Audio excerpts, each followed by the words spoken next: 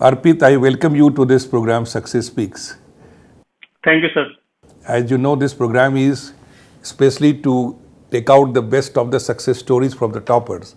And since you have got All India 53rd rank this year in Civil Service Examination 2021, so I know it is going to be interesting story for the audience for you, right? Sure, sir. Thanks a lot for having me. Uh, this is going to be a very interesting story for the audience because you have got your IS with 53rd rank in your fourth attempt and initial two attempts you could not qualify pre. Third attempt you got Indian Police Service and now you are IS with 53rd rank. So the audience must stand by, listen to you carefully how this journey all began and what all happened that you could not qualify in your initial two attempts in the pre and then suddenly you jump to IPS and now to IS, right? Uh, sure, sure. Before we go to the success story, I would like the audience to know about your background. Naturally, they would be interested to know about you. So please tell something about your family background, your education background, and your journey in the UPSC. Uh, sir, my name is Arpit Sangal. I am currently 25 years old. I come from a, a district called Shamli, which is located in western Uttar Pradesh. Uh, I belong to a businessman family. Uh, my father is a businessman. Then I did my graduation from IIT Delhi. I did BTech in mathematics and computing, and I graduated in 2018. Right. And uh, soon after that, I started preparing for civil services examination. As you have rightly mentioned, I wasn't able to qualify the first two prelims. Uh, in the last attempt, that was my third attempt, I got All India rank 239, uh, and I got the Indian Police Service uh, as a service. And this year, I got All India rank 53, and IAS is my first preference. Uh, Arpit, uh, before we enter into this understanding about the four attempts, one very favorite question with the UPSC is why do you want to become IAS? You're also an IIT and you have got the best of education and also the degree. You had number of options to in India and abroad with lucrative packages. So why did you prefer to go for IAS in place of going for such lucrative packages? Uh, sir, actually, I got uh, uh, a pre-placement offer after my third year in a very reputed company. But uh, I think the nature of the job that uh, IAS or civil services gives you, it give it will give me a wide experience during my uh, life in the service. I will be able to chat or I will be able to understand each and every sector of the population of India, and it will be more of a generalist job I prefer this. I will. I want to see the India's India's social life, and if I could contribute with uh, my work to the society, then I think I would be very grateful. And also, I think by seeing the value system that my family has raised me in, I personally feel that uh, I was, uh, as we see the syllabus, even the ethics syllabus or the values that a civil servant should have. So I think I felt that I will be a right uh, candidate for this as compared to a job in a corporate field. So I was attracted to uh, in the Indian uh, administrative service. It is really very impressive to know your clarity about your career choice, and that is where became uh, so supporting for you all through your journey to keep you motivated. Arpita, uh, you could not get success in two prelims in your first and second attempts and then you suddenly you started getting success from third attempts. So for your audience and the future parents, I would like you to analyze what was the really deciding factor in which which did not allow you to qualify in the pre in two successive attempts. Uh, sir, the first attempt I gave just after graduation in 2018. I was not at all prepared. Uh, just 10 to 15 days before the exam, I was told by seniors to that you won't be given six, six attempts, so just attempt it. So that was just a testing attempt. I got very less marks in prelims. Right. I just prepared for 15 days. Now, second attempt was uh, my attempt where I gave it all that I could. But I think the major mistake were two that I did. The first was that I thought that UPSC is just a knowledge game. And that was a mistake from my side. I think UPSC is also about common sense and a wider understanding of things. Right. Mm-hmm. So, first thing is this. And uh, uh, wider understanding of things. And secondly, I think whenever we are giving an exam, we should build a temperament of the exam because eventually those two hours matter. So here I made that mistake also. Somehow I mismanaged my time in the prelims. So these two were the prime reasons for my failure during the second attempt. And it was difficult because yes. I was prepared for mains also. It was not easy. Uh, I think in general UPSC journey is difficult. Then I gave my third attempt. Uh, it was also there were many disruptions because of COVID, but right. thankfully I got into I cleared my prelims. I made sure during my third prelims that I do I leave no stone unturned. Uh, so that helped me to even qualify the forest cutoff during the third attempt. So there I focused on multi uh, sector approach like knowledge, common sense, building a good temperament. So I think that helped me in prelims in the third attempt. Very nice. Now, uh, with your experience, what would you like to suggest to the people who want to go for the first step? Should they try like you casually once, twice, or they should take it seriously from the beginning? Sir, I think they should take it seriously from the beginning because eventually, if you look at the mental uh, side of it, now I am qualified, so I can uh, say that it was okay for me. But if we generally see, when you fail an attempt, it counts as an attempt Right. So that way you have some uh, issues. So if you are not prepared, then but there is a silver lining because UPSC is a difficult exam. Some people even after studying think that they are not prepared. Not being prepared means not even reading the standard books. Right. I hadn't read even the standard books. That's why I was not prepared. But for all other people, don't let your fear stop you from giving an attempt. Okay, but ideally one should be well prepared and then should try for it. Very right. Yes, now, how to remain motivated? That's a very big question. Once a person disqualifies, especially any brilliant student like you who has done IIT also. So I have uh, come across so many candidates earlier also the, among the toppers. They take it casually in the NS attempt and many of them get discouraged that okay I could not qualify in the pre it means I'm not competent for that right so in this situation many people might have laughed you laughed at you also you could not make it the pre so how you kept your motivation level high and you kept going? Uh, so first is related to the people who are uh, seeing anything. I think you should have internal motivation. You should know why you are doing this, uh, why why you are giving UPSC civil service examination, or why do you want to join the service. I think a person should not listen to others. However, there is some effect of others. As far as motivation is concerned, I think let me keep it tell you straightforwardly that every day you feel demotivated. Before you go to sleep you feel a sense of guilt that i should have done better. You feel demotivated motivated every day. Even after getting into ips if you are a i got into ips even then also i felt demotivated sometimes. Because it is the nature of the exam. So first of all stop giving you guilt trips. Giving yourself guilt trips that you are feeling guilty that you haven't done enough so avoid that first. Then I think a good way to keep yourself motivated is by doing any physical exercise because it is eventually a chemical phenomena within our body. There are certain good hormones that get released when you feel happy. So a person should focus on exercise. Secondly, uh, a good way to keep yourself motivated is, is by seeing incremental changes in your preparation. So when you read a book, just feel good about it that you have completed one source. Then to check yourself uh, by giving test series, you can see your progress. So that is also a good motivator by giving uh, different test series. And thirdly, I think friends and family, they matter a lot. Please stay away from those friends and those family members who pull you down, right. who either say bad things about UPSC examination. For example, there are certain people who could not qualify, so they have a uh, they don't have a good experience of UPSC, so they might say that it is unpredictable. Mm-hmm. There is no use of giving an exam. So I think you need to stay away from those people. I think uh, uh, that way and talk to those people in your family and in your as in your friend circle who motivates you, who respect your choice, even after failure, who respect your choice. In this aspect, my friends and family helped me a lot. Very nice. Ultimately, if nobody is believing in you, that does not matter. Your own belief system should be as strong. Right? Yes, sir. And definitely. you should keep away from the people who discourage you. And you have to keep working only on those things which really keep you up and up going into your journey. That is very interesting.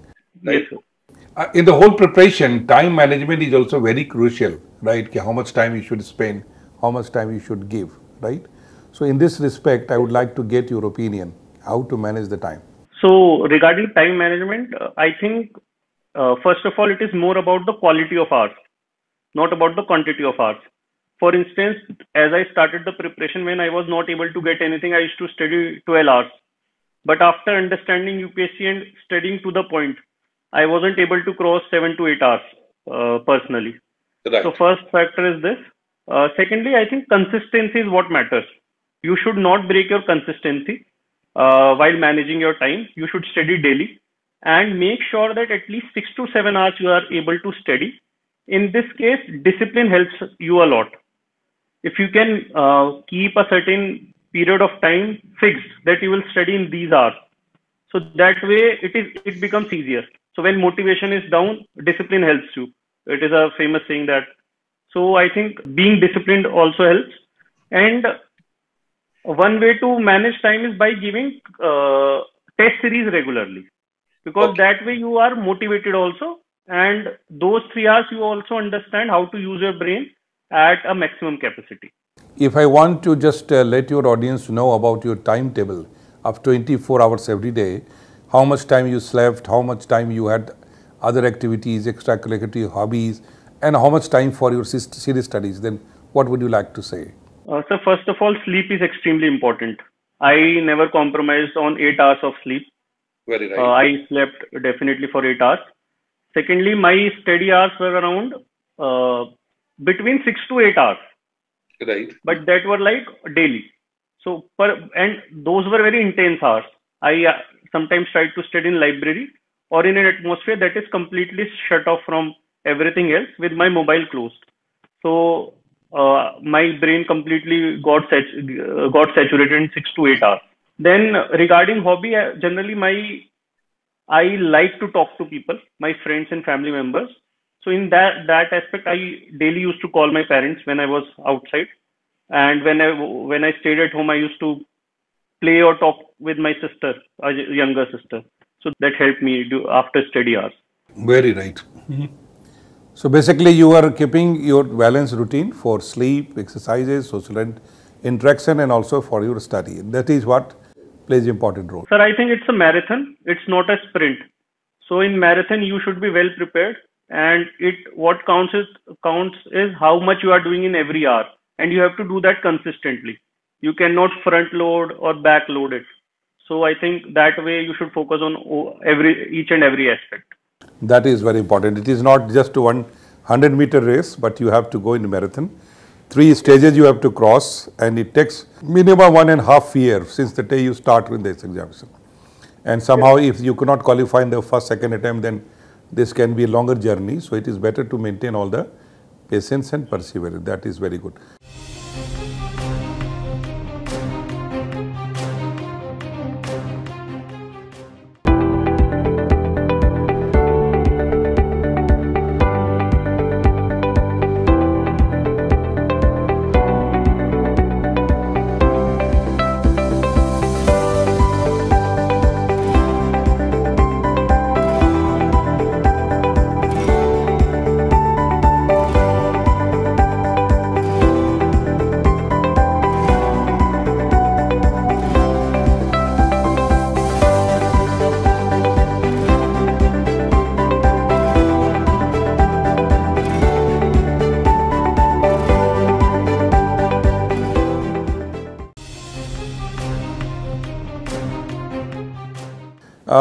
Arpit, uh, where from to start is a very big question for the new persons or the beginners, right?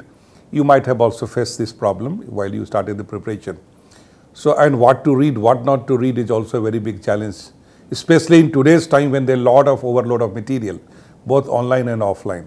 So, in this situation, with your experience, what you would like to talk to your uh, audience? Uh, first is how to where to start from. I think just bring the NCERTs to your home and start reading them by understanding them. This will build your basic knowledge and basic understanding of things because as I came from uh, my college, I was focused primarily on college. I, I noticed that I have forgotten almost everything from my 10th class. So regarding where from where to start, I think uh, you need to start from NCERTs. Just bring NCERTs from 6th to 12th. And generally people say 6 NCERTs are not required, but it hardly takes 2 hours to complete one NCERT. So just read it to understand what is polity, what is history, what is geography, what is environment. After doing that, go to the UPSC syllabus and UPSC previous year questions. And then, then go to basic books that are recommended by almost all toppers. And one problem that people face, as you have said, there is a lot of material. If you go to a shop in Mukherjee Nagar or Old Rajendra Nagar, or you go to a web page with UPSC material, you will find yourself lost. And there is a FOMO, fear of missing out, that you might be missing out something. But please stick to the standard sources, stick to your own preparation, stick to your notes. Don't get a fear of missing out and don't keep on uh, buying new materials. Especially when you're talking about NCERT books, one very beautiful concept you came with that 6 to 8 standard. It takes roughly 2 hours to complete one book. But students keep thinking whether they should read 6 to 8 or they should read from 9 to 12. So it is unnecessary confusion. You might have forgotten the basics fundamentals.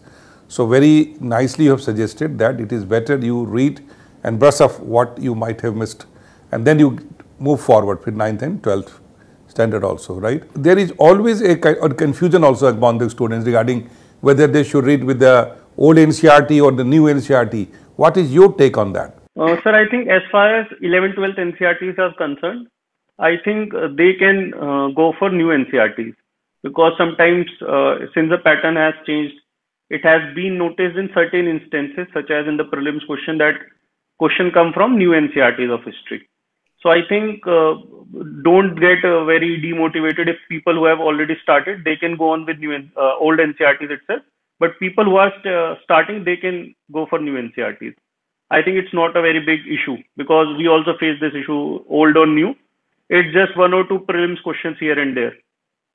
Right, and it is better because latest uh, editions are there in the new NCERT. So data and facts and figures will be more up to date there. It, that can yes. be good. That is very good. Uh, did you also prepare notes because remembering so many things is not easy, right? Correct. So did you yes. did you have a practice of making notes? Sir, as you said that remembering is not easy. Apart from remembering, reproducing it in the exam is not easy. Yes, yes. If right. you are not preparing notes. So eventually what matters is those three R's, what is written on, on your answer script. So unless and until you prepare notes, you will be lost. So I think my extreme focus was on notes. I made very, very highly crisp notes. Every topic, hardly three to four pages. And I made sure that I revised it. Uh, I think I have even got them pictographically in my mind. I've re- revised them so many times. And uh, I kept on revising those only because eventually the standard uh, things are same. There is nothing new. The base on which the entire polity is based or geography is based is the same, and UPSC is also going to ask that only. So I think note making is very important. And uh, especially revision is very important, and that cannot be done unless you have prepared your notes, right? Yes, sir. Uh, would you like to give some tips for notes making? How to prepare notes? Yes, sir. For see, there are two things: prelims and mains. For example, if I take standard books, then if I take Laxmikanth or in modern history, if I take Spectrum or in geography, I take NCERTs. In those, only generally factual questions are asked. The thing that is conceptual, generally you tend to remember those things if you are reading properly. So for prelims, focus more on factual questions after looking at the PYQs. And in the mains aspect, I think first go to the syllabus first starting point is syllabus.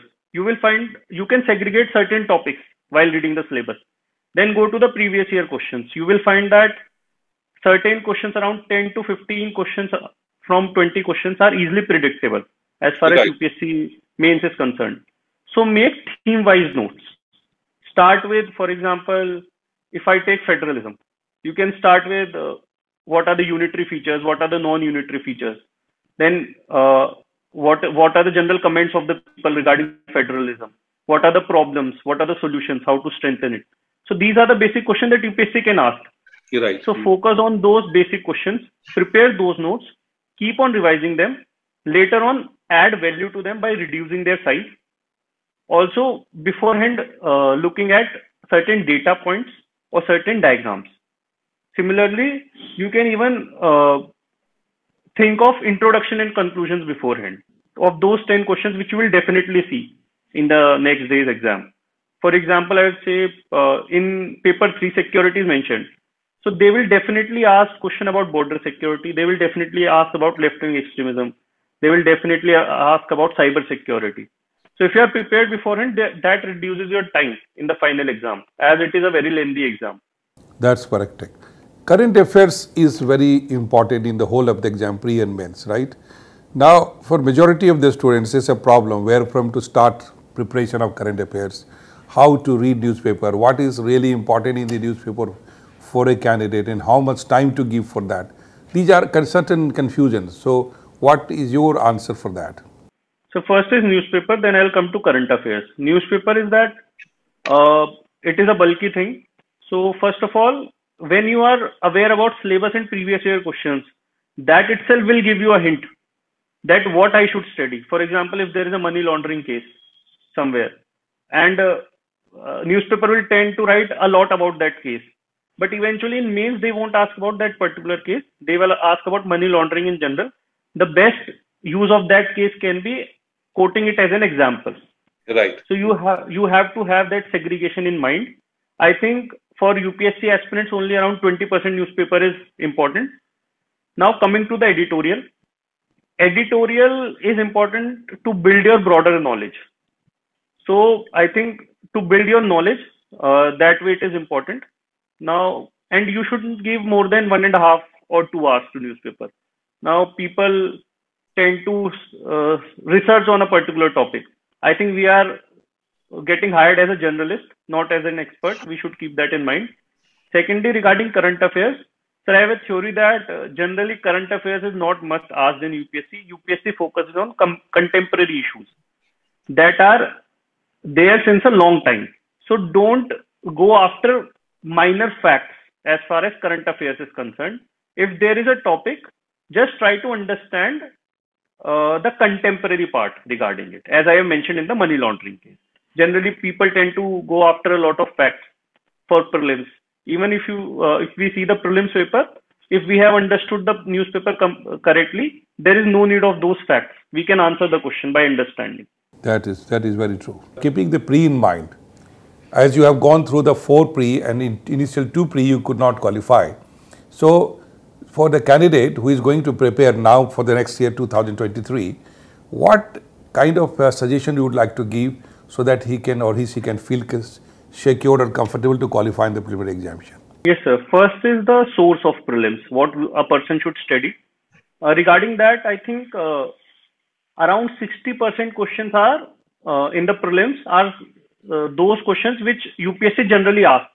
For example, this year Ashoka's rock edicts were asked or the polity questions or the economy questions.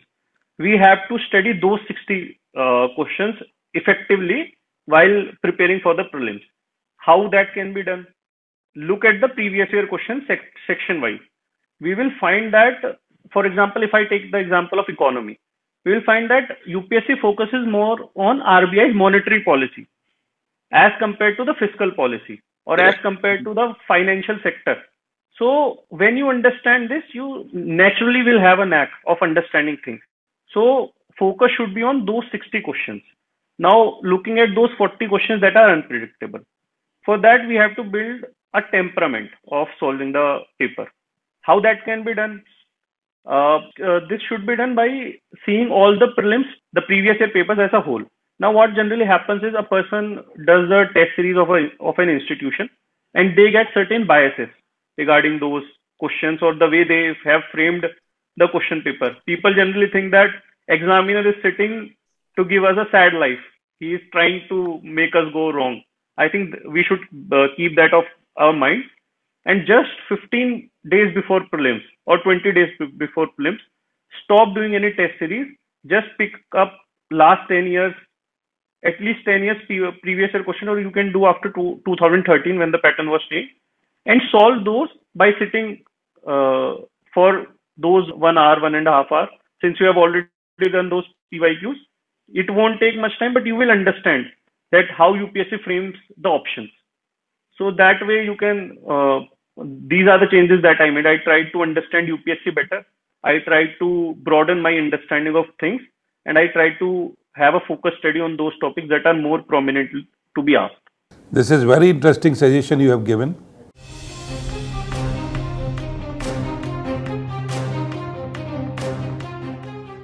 I found Chanakya's mock interview program very useful. Uh, the uh, panel of experts that they have is really very, very experienced, and they did help me in, in, in trying to find out which are the areas in which I should focus more during my preparation. Uh, so that was very useful. Uh, what I found is that there's a lot of correlation between the kind of questions they ask you in the panel here in mock interviews as well as the ones that are actually asked in the UPSC interview. So I would uh, recommend that you should go through mock interviews as well and all the best to every aspirant and hope you all do very well in life. Uh, let me explain uh, the um, uh, future aspirants on your behalf. What you have said is very interesting and very important. That last 15 days, it is good to practice with the, all, the original question of the UPSC of last 5 year, 10 years rather than to go for new, new test series that is very, so that you get a practice with the original question which have been asked there. This is very important.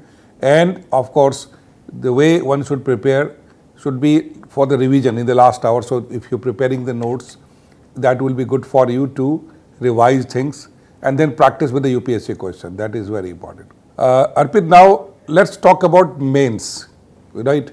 The orientation is different in the mains. So if I ask you to define what exactly is the mains examination, and what they are looking for in a candidate in the main examination, what will you say?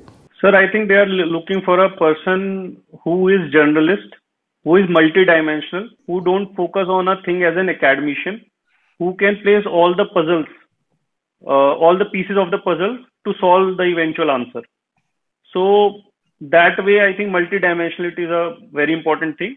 Also, decision making on facts rather right. than on, on our personal opinions.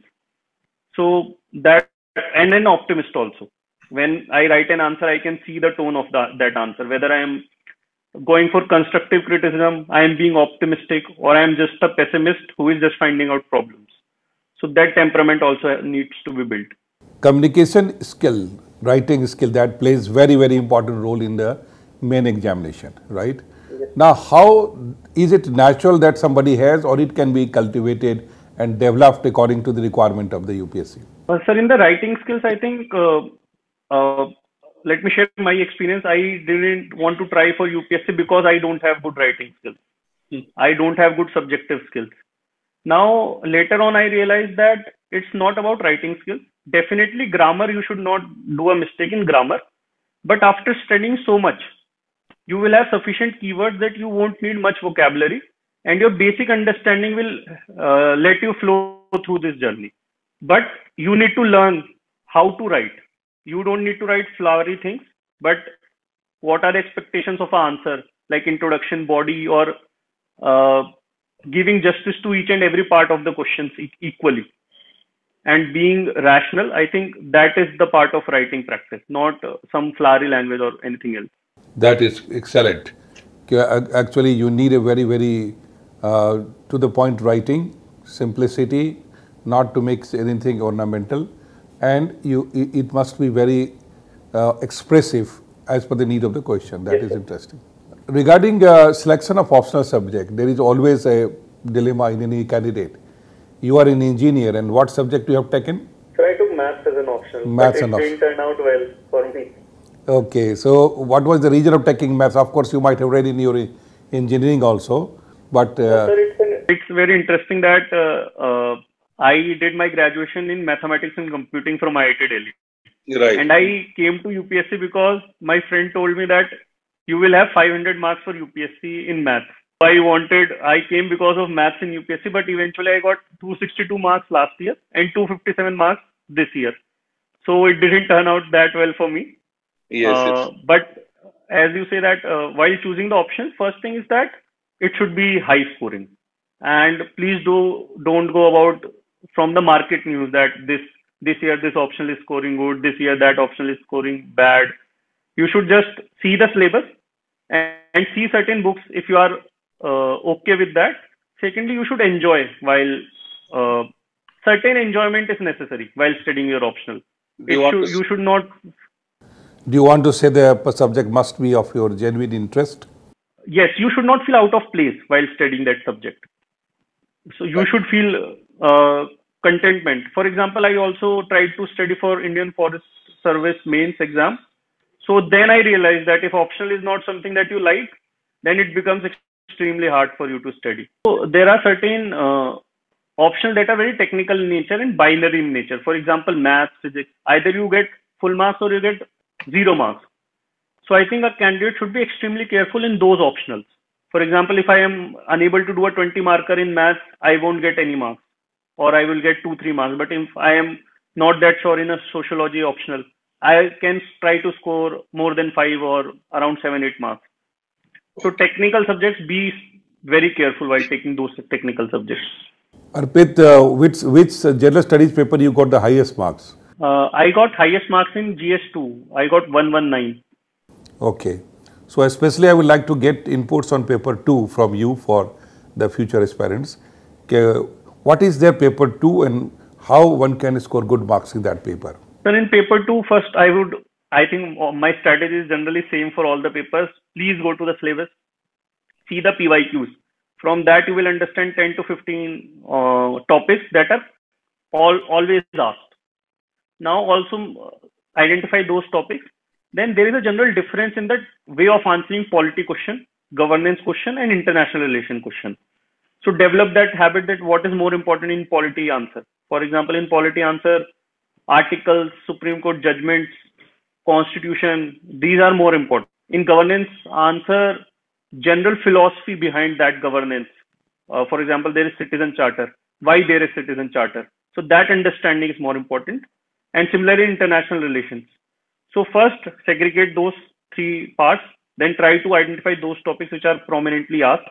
Uh, focus more on constitution throughout the uh, subject and incorporate certain diagrams that can be uh, drawn in that. And I think uh, sources should be limited. Then you can just go to Google and see there are certain blogs from certain web, UPSC uh, coachings. So they give crisp notes so you can just add on from that. Especially, I would like to know from you about the international relation part of the things. What are important there in that particular section, and how to prepare that for? Uh, sir, as uh, in the international relation, I personally feel that students give a lot of time to it, but it's not asked that much. I think around uh, 50 to 70 marks generally international relation is asked, or I think it's 50 only, two 10 marker, two 15 marker. Uh, but if you see an editorial page you will find that daily there will be two editorials for international relations. First, be conscious about that. Give every topic that amount of time which it deserves because eventually you have to clear the exam. Now, in IR, go by the syllabus. They have mentioned that first focus on neighborhood. You should know India's neighborhood policy. Then, important countries are there, such as uh, our relations with US, or our relation with Russia. Similarly, we won't be asked about our relation with a particular African country. General as a block, it will be asked. So divide the world into those five, six major countries, then areas, Middle East, Central Asia. After that, go to the multilateral organizations, UN being the prominent one. And later on to those organizations which are more prominent in news, such as Quad was asked this year. And apart from that, focus on the general trends of how foreign affairs are panning out, such as there is shift to Indo-Pacific, there is general rise of NATO after the Ukraine-Russia war. If you can have those 10, 15 points of understanding where our international relations are going, that will be of help, I think. Very true. Now uh, let's move to the interview part. You have gone to interview very successfully. How many marks you had in the first and the second interview? Sir, I had same marks. I think uh, it was around 168 marks in both the interviews. 168, that is there. Now, if I ask you what the UPSC members or the board wants to see in you, what will you say? Uh, sir, uh, one is honesty. Com- there should be complete honesty. Second is confidence. Uh, and third is balance of judgment. I think these three things are so much overused that a candidate thinks that these are cliche. But personal at personal level, I feel that these three things are the most important when you talk to the panel. So uh, there should be focus on these things, and you can also try to prepare beforehand the type of questions that can be asked. Be polite in the panel. If you think you have done a mistake, please don't for, uh, forget to accept that. And I think I personally have a feel that eventually you can't impress people who have already served for 40 to 50 years in professional life. Arpit, now if I give you this chance to speak to the audience from your side without asking question, what points you would like to give to the people who are going to go for the mains now and for the people who are will be appearing after a year in the preliminary examination when they are going first time particularly, what suggestion would you like to give them to as your tips for success? Uh, sir, in the mains examination, uh, one thing is that give equal importance to all the papers. Eventually, what happens in the end is uh, there is a high possibility that one or two paper might go wrong because there are a lot of papers.